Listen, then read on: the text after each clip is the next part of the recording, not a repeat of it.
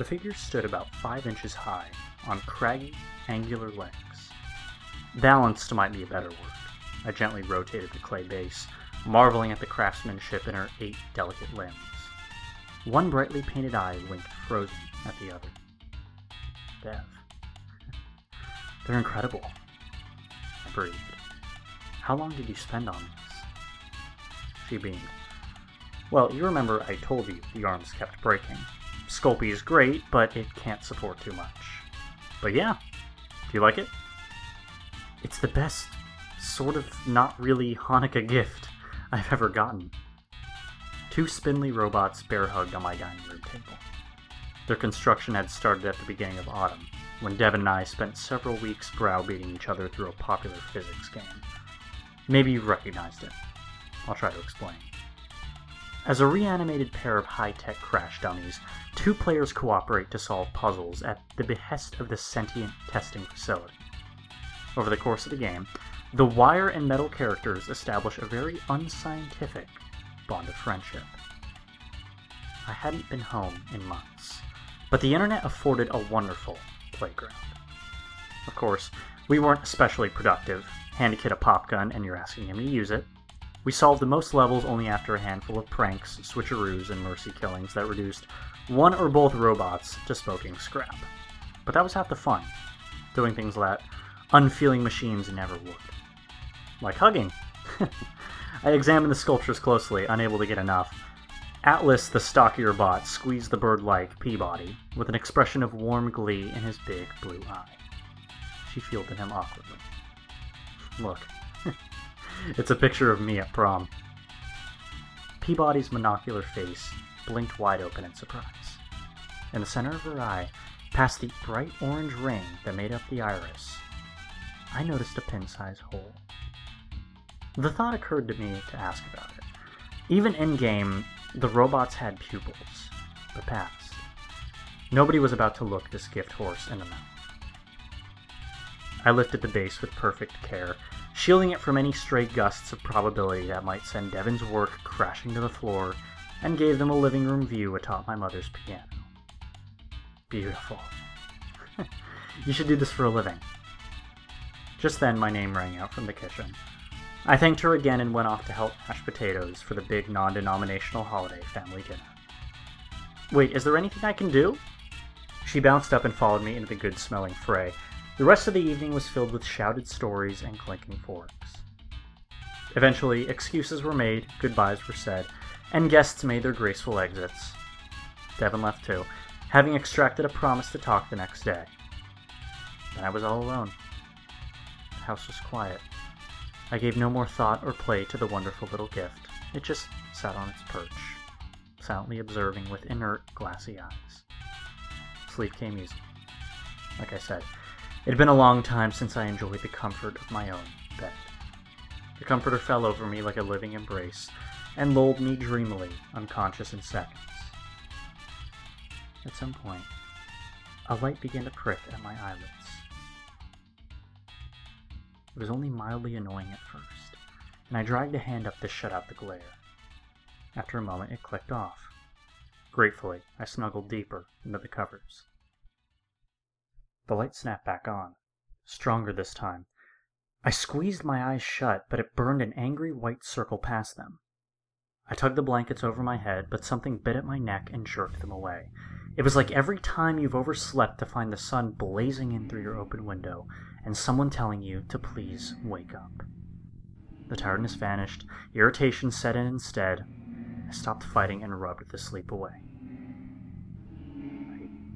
Don't exactly know what time all this happened. It must have been past midnight, several hours after going to bed, because when I opened my eyes, they were too bleary and unfocused to make out the numbers on the clock. All I could see was a glowing blue orb staring back at me. A tight gasp escaped my throat, blowing back something made of black metal and gleaming white plates.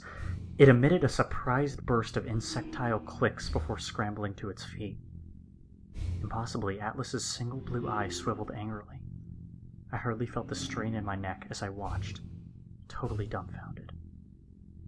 He jabbered and gesticulated wildly, Every other word he punctuated with a stomp to my chest. They felt like taps. His limbs came alive, energized as if he had jumped from the game model into the physical world. Devin's handmade version was good, better than good. But this was impossible. I tried to grab him, to extinguish this incredibly weird dream somehow, but everything felt slow and floaty. My body hardly twitched. From my blind spot, jerky steps patterned off my shoulder. Peripherally, I caught something that looked like an elongated egg. Suddenly, P-body swung into hazy focus. She began to answer the other robot in the same complicated electric patois. P-body's eyes flashed red in the darkness. The center wasn't empty anymore. It extruded a long silver needle that just began to retract, dripping something clear and viscous. My neck throbbed. With dull panic, I realized why I couldn't move. There was nothing to do but breathe and go slowly crazy. With absurdly human caution, Atlas tiptoed experimentally towards my face. He prodded my nose with stumpy white grippers, then immediately leaped back and scrambled behind P-body. It would almost have been cute if my skin wasn't already deadening to feeling. The little spherical bot seemed surprised. His ocular panels narrowed in an expression of mad glee, and he began to hop up and down on my collarbone, shrieking triumphantly. P-body yelped and skipped in a circle, a victory dance. This was just too. Eventually, they tired of gloating and high fiving and retreated to my sternum, careful not to capsize on the rise and fall of my breathing. The miniature things looked at each other and shrugged. What now? The gesture seemed to say. Then P-body got an idea. It sounds ridiculous to say that of a machine, one I still half believed was an extremely vivid dream combined with ordinary sleep paralysis, but her train of thought was uncannily recognizable. The shiny ellipsoid that made up her core jumped a little. She shot a wide eyed look to the squishy giant on the bed, to me, then to Atlas. Back and forth. He scratched his round metallic noggin, perplexed, as the taller bot looked him up and down. Suddenly her limbs shot out and grabbed Atlas's body. She turned him over and under and around, ignoring his flailing. He was a perfect sphere, about the size of a ping pong ball. She nodded, satisfied, and set him down dazed and confused before jogging up to my face. Her orange bulb closed smugly. Watch and learn, it proclaimed. I thought I was completely numb until I felt three cold metal fingers jab under my right eyelid.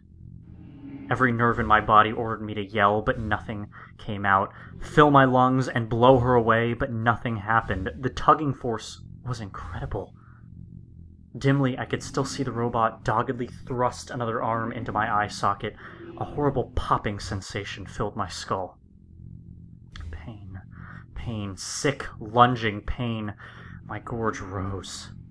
But what cried out even deeper was the fulfillment of a primal fear, the lizard brain, howling at the loss of a working organ. There was nothing I could do but scream inwardly. One final wrench, and P-body lurched backward. In her arms was a bloody white ball. My severed optic nerve dangled out behind it like a tail. I tried to weep and half succeeded. My right eyelid collapsed into the bleeding hole. Useless. The few tears almost completely nullified my remaining vision, but I thought I could see P-body hand her prize to Atlas. Incredulous, he hugged it. There wasn't even enough energy in me to moan anymore. Broken and ruined, something in my head felt horribly swollen. All I could do was listen to my own paralyzed, sobbing breaths and watch the disgusting little creations play with their new friend, tossing it between one another trying to bounce it off the bedspread. But a weird and unexpected transformation took place before my eye. Their grabs got faster, more aggressive. Each one got less time to play. Incredibly, they began to fight over their new toy. P-body seized it and stretched her skinny joints, holding it above Atlas's head. He delivered a swift kick to her torso and snatched the eye out of the air. For a moment they glared at one another, the LEDs in their cores brightening orange and blue with a computerized approximation of hate.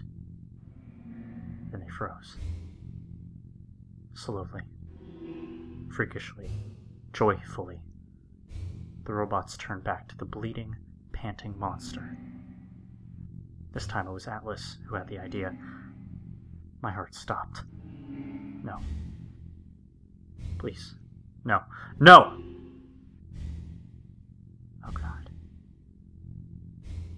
Woke up realizing that this actually was all but a horrid nightmare. Thank God it's over. But you will not believe it.